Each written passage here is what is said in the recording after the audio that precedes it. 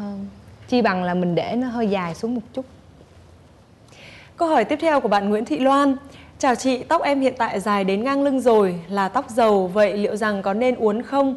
À, uốn thì nên để dài hay cắt ngắn?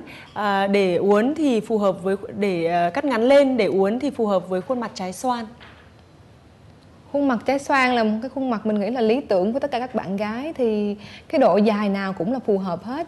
Nhưng mà nếu mà hiện nay tóc bạn ngang lưng thì biết đâu bạn muốn thay đổi bản thân một chút thì mình có thể cắt à, ngắn lên. Tùy theo phong cách của bạn nếu mà bạn thích là nữ tính dịu dàng thì mình có thể cắt đến à, ngang ngực thôi. Nếu mà muốn là trẻ trung hơn nữa thì mình cắt đến ngang cầm hoặc là nếu mà muốn một cuộc lộn xác luôn thì là pixie tóc cắt tóc tém chẳng hạn. À, mình nghĩ là tóc xoăn thì tóc xoăn tóc đẹp mặt trái xoan.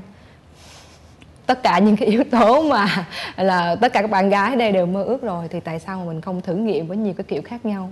Dạ vâng linh cũng đồng ý với cái chuyện đó.